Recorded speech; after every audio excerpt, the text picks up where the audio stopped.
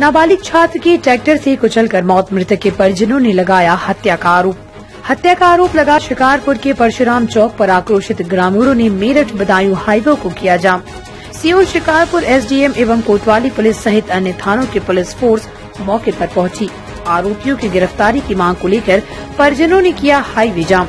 जाम से सड़क पर लगी लंबी लाइन पुलिस प्रशासन परिजनों को समझाने में जुटा। परिजनों ने तीन लोगों के खिलाफ थाने में दी हत्या की तहरीर शिकारपुर कोतवाली क्षेत्र के गाँव नगला सलीकपुर का मामला क्या क्या घटना हुई आपके बेटे के साथ गन्ना के बाप है गए और निकल गया इन्होंने देखो ये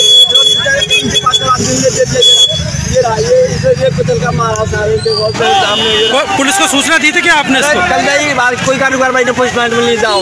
तो आ, आप लोग जाम क्यों लगा रहे क्या पुलिस आपकी सुनवाई नहीं कर रही है? तो तो। ये घटना